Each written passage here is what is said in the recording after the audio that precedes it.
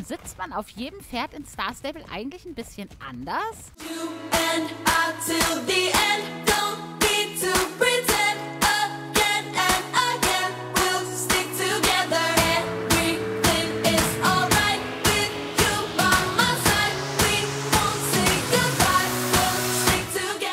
Hallo, ihr großen und kleinen Träumer da draußen. Mein Name ist Damakash und du siehst heute ein Pferdekaufvideo. Ja, und ich bin hier nicht alleine. An meiner Seite sind heute Lisa, Swift Mountain und Greta Big Shovel ist auch mit am Start. Und du siehst schon, ich bin kurz vor Feargroove. Und dahin mache ich mich jetzt mal auf dem Weg mit meinem kleinen Dreamboy. Den reite ich heute auch schon den ganzen Tag. Der stand irgendwie jetzt so lange im Stall, der arme Schatz, dass der doch unbedingt mal wieder Ausritt brauchte. Und du kannst dir wahrscheinlich schon denken, was es dann werden wird, wenn ich hier vor Feargrove stehe. Und was es genau wird, das siehst du gleich. Ja, in Feargrove stehen natürlich in erster Linie mal die Morgan oder Morgan, ne? Und zwar gibt es ja hier allerhand hübsche. Hier hast du den ähm, Apfelschimmel, das ist der, der noch relativ neu da ist. Das ist ja das Quarter, was ich schon habe. Da ist noch ein American Quarterhouse. Das hier finde ich übrigens auch ganz süß hier. Dann ist, steht hier noch ein so ein verwaister Araber. Die gefallen mir aber tatsächlich nicht so sehr. Und dann kommen hier noch ein paar Morgens. Eins hat die Lisa hier jetzt auch schon dabei. Ne? Sie reitet den auch oft auch bei Championaten und so.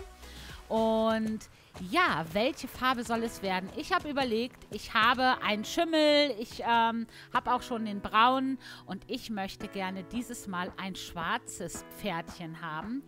Und, achso, nee, warte, ich zeige dir das nachher ganz im, warte doch, ich steige mal ab, dann kann man das nämlich sehen. Guck mal, die Mia, High Cloud ist auch da. Liebe Grüße an dich, liebe Mia. Ich zeige dir das mal. Es ist nämlich ganz, ganz schwarz. Und eh, mir gefällt diese gelockte Mähne. Hier ist so eine gelockte Mähne und ein bisschen gelockter Schweif. Und ich habe gedacht, das soll es werden. Mir gefallen die anderen auch. Aber ich glaube, ich möchte diesmal einen Rappen. Und zwar einen Morgan. Der Morgan wurde einst als das ideale Pferd für die Kavallerie der Vereinigten Staaten bezeichnet. Es ist nach dem Besitzer erste, äh, des ersten Pferdes dieser Linie benannt, Justin Morgan. Morgans haben eine wichtige Rolle in der Entwicklung anderer Rasse, wie zum Beispiel American Saddlebred oder Tennessee Walking Horse gespielt. Das Ganze hat eine Stärke plus 3, Disziplin plus 2, Geschwindigkeit und Ausdauer nichts, Agilität plus 2 und kostet 790 Starcoins. Levelbeschränkung gibt es übrigens keine. Und jetzt darf sie, es wird eine Stute, einziehen, Pferd kaufen. Jetzt kommt natürlich wieder die Frage mit dem Namen. Ich will einen Namen aus und schalte dich gleich wieder zu, wenn ich mich entschieden habe. Und da bin ich und es wird eine kleine Dream Melody. Finde ich passt toll, passt hübsch zu ihr und deswegen gehe ich jetzt auf Okay. Glückwunsch zu deinem neuen Pferd. Dein neues Pferd wird zu deinem Heimatstall gebracht. Du kannst es in deinem Stall finden und genau da sehe ich dich gleich wieder. So, im Stall angekommen bin ich. Jetzt muss ich sie nur noch finden. Die kleine Dream Melody und sie wird vermutlich hier hinten irgendwo stehen, weil das sind die letzten beiden Boxen, die ich frei habe. Hier ist sie, die Dream Melody. Jetzt kann man sie hier auch in dem Licht vielleicht nochmal ein bisschen besser sehen. Guck mal.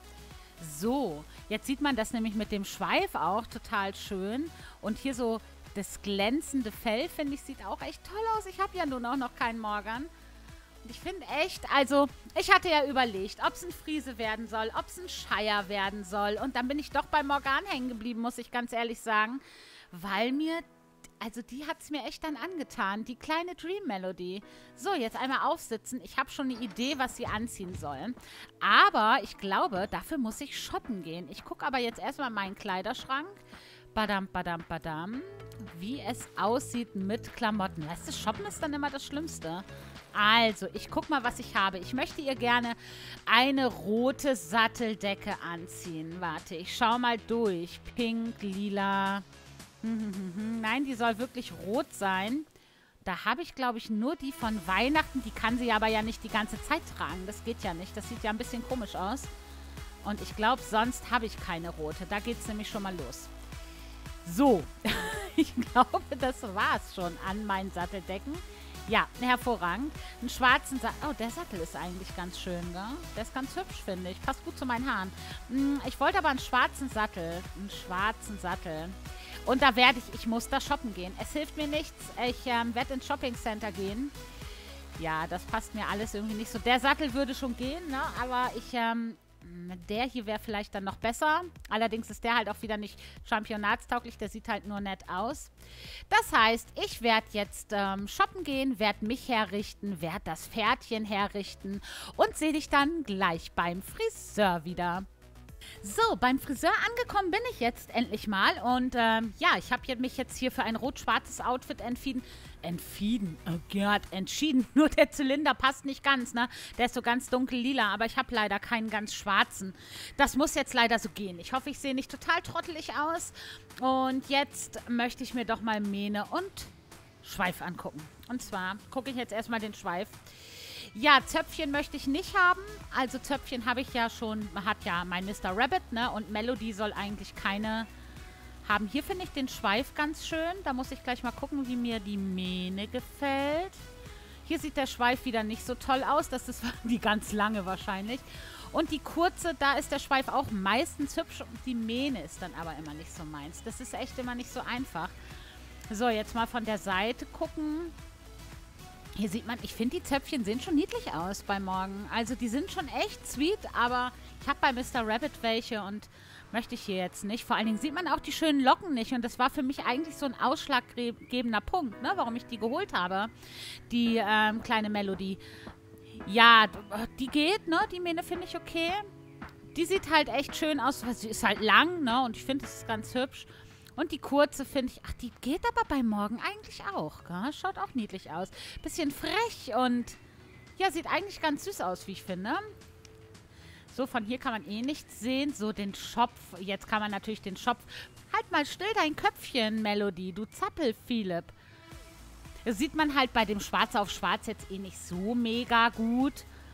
Aber ja, finde ich halt auch lang eigentlich. Obwohl das niedlich ist. Also guck mal, die wippen dann so. Das ist echt knuffig.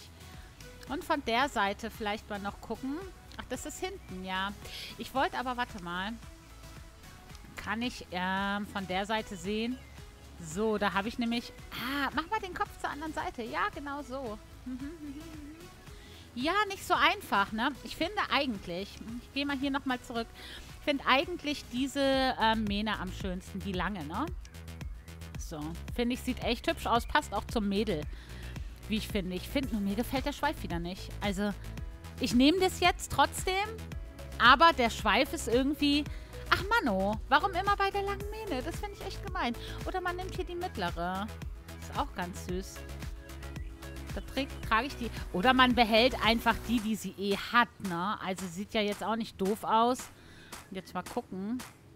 Da sieht der Schweif wenigstens nicht total komisch aus. Ich glaube, ich behalte die, die sie hat. Ich glaube, das ähm, gefällt mir so schon ganz gut. Und ähm, das lasse ich, glaube ich, so. Und jetzt suche ich mal ein stilles, gemütliches Plätzchen, um dir die Gangarten zu zeigen. So, nachdem ich gerelockt habe, hahaha, kann ich dir jetzt die Gangarten zeigen. Ähm, und ich fange mal mit dem Führen an. Ach Gott, das ist immer so, das ist gar nicht so einfach, das Führen so zu zeigen, muss ich sagen. Aber guck mal, ich glaube, so kann man das ganz gut sehen. Ich finde da auch den, ja, der, der Schritt ist schon echt ganz nett so, ne? Also es geht schon echt, sieht schon nett aus. Guck mal, so, das Führen von der Seite.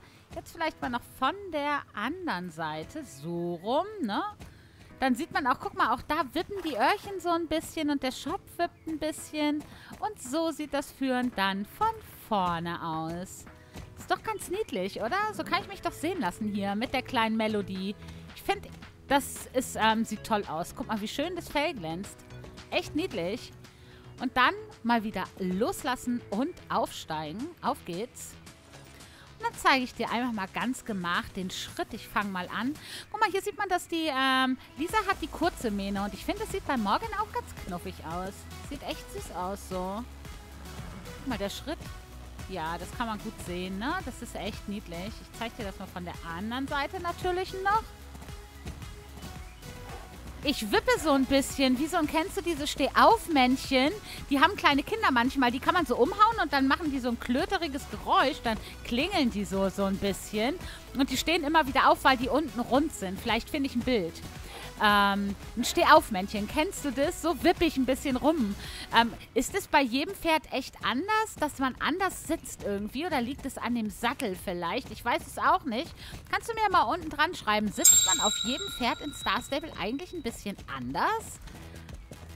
So, guck mal. Und von der anderen Seite natürlich auch noch, ich könnte ja auch der ähm, Schönheit wegen mal in den Optionen das Interface ausmachen, oder? So, dann kann man das ein bisschen besser sehen. Mensch, sag mir doch, dass ich das noch anhabe. Ja, finde ich, sieht ganz nett aus. Ich drehe mal nochmal um und eine Gangart schneller, bitte. Ja, da guck mal, wie ich da rumwackel. Ach du guter Gott. Das mu ich muss da mal drauf achten, ob ich das bei den anderen Pferden auch habe. Ob das da auch so ist. Das ist mir noch nie so extrem aufgefallen. Ich schaue da aber mal drauf. Ich habe ja Videos genug. So ist ja nicht, ne? okay.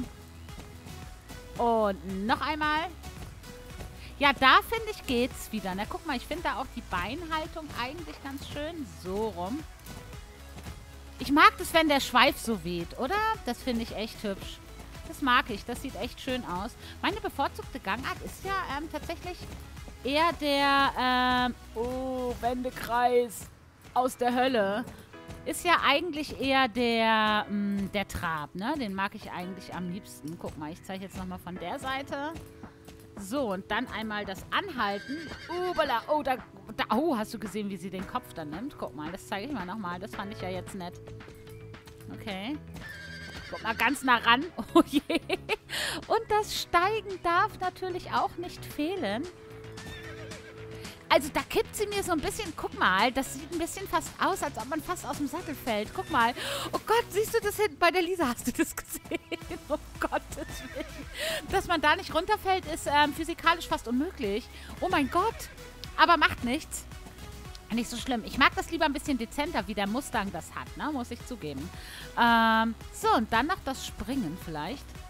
So. Ah, da nimmt sie die Beine wieder schön. Das finde ich wieder, sieht echt gut aus. Aber von der anderen Seite noch.